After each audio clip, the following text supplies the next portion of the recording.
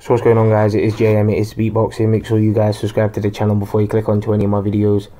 Also comment below in the comment section if you guys have any opinions on what I'm saying in any of my videos. Like always, it is appreciated if you guys could drop me a quick sub or two on my channel. So new WBA super middleweight champion of the world, George Groves, has confirmed that he has broke his jaw and he broke his jaw last Saturday night in the Fedor Chudinov fight.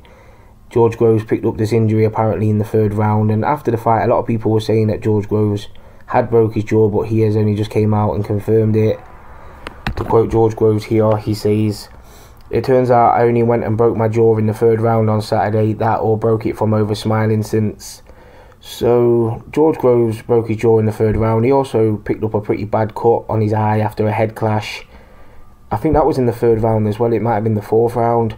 But George Groves just wasn't being denied that night. Like, George Groves knew he had to win that fight or his career was pretty much over in terms of big fights. So George Groves just wasn't being denied, and he managed to get the stoppage in the sixth round. A lot of people are saying it was a early stoppage, but let's be honest, Fedor Chudinov is a very tough man, but he was taking clean, clean shots, and I reckon if he took any more, he would have been seriously hurt.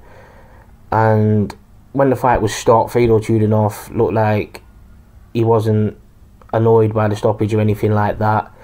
And if someone's going to kick off over a stoppage, it's going to be Fedor Chudinov because we saw it when his brother got stopped by Chris Eubank Jr. in the interim WBA middleweight title fight.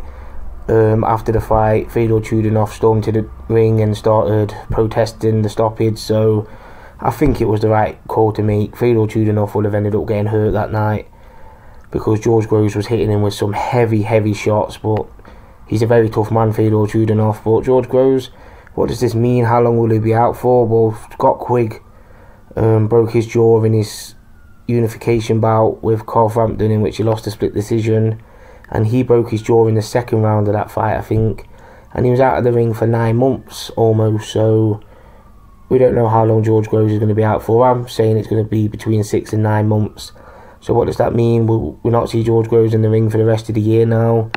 Obviously, there's big fights out there for George Groves. Obviously, he could have the Callum Smith Anthony Dirrell winner in a unification bout, or he could have a big fight with his rival in the sport, James DeGale, have a big rematch, who's the IBF super middleweight champion. But yeah, George Groves breaks his jaw last Saturday night in his world title victory over Fedor Chudinov. Comment below in the comment section your opinion on this. How long do you think George Groves will be out for?